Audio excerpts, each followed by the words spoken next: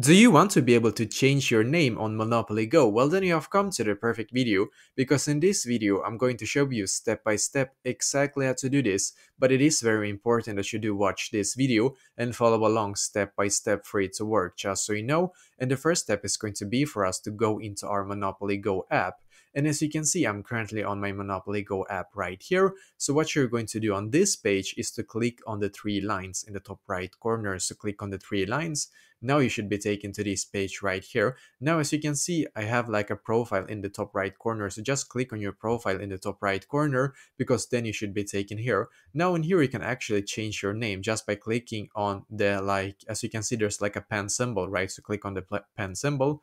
Now you can actually write a new name in here. So I'm just going to write a name in here just to demonstrate. Then click on submit.